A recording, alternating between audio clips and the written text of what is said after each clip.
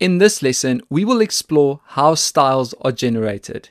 If you've completed the customization module of the intermediate WordPress user learning pathway, you'll remember that WordPress offers two ways to modify colors, fonts, and layout via the site editor. One is to use global styles, and the other is to use the stylebook. That gives you a visual representation of the block you are modifying. But where do these built-in styles come from and where are they defined? The answer is in a file named theme.json, which is the focus of this lesson. But first, what is theme.json? The theme.json file is used to define the global and block-based styles for your theme. Every visual aspect of every property is there, from color and typography to spacing and dimensions. This approach is often referred to as having a single source of truth. In this case, theme.json is the primary file that's responsible for specifying and organizing all the theme's design aspects, making it easier to update, modify, and manage. So, where do we find theme.json? In the first lesson of this chapter, we peeked into our site's themes files. Let's return to that page and navigate to Tools and then Theme File Editor. You'll be greeted with a warning message advising you not to make direct edits to your theme. This is only a brief introductory visit, so you can safely hit the I understand button. In the right sidebar under Theme Files, click on Theme Styles and Block Settings.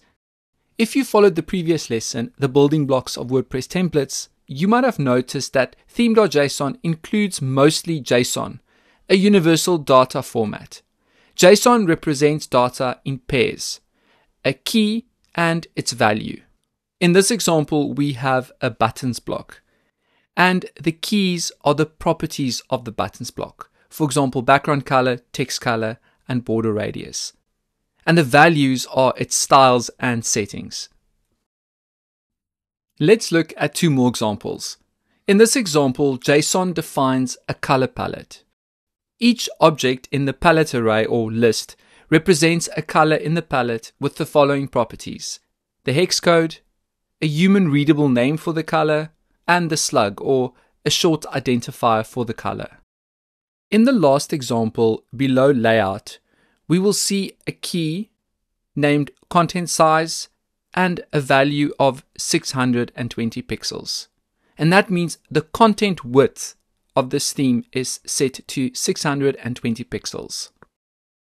When you customize a style via the editor, for example, in this case, we're going to change the content width to 650 pixels, WordPress generates these changes as JSON, ensuring they are rendered into CSS styles that can be displayed properly in the browser. Take a moment to browse around theme.json. Scroll down and search for words that you're familiar with from the editor. For example, words like color, layout, button, border, etc. And note how color, for example, appears numerous times across the file while layout is only specified once. All these properties describe the predefined styles of the theme, as determined by the designers and developers who created it. While you can alter these default styles right in theme.json, it's not the recommended method, neither for users nor extenders. Customizing the design via the editor is a more practical and intuitive approach. Going into the specifics of JSON is beyond the scope of this lesson.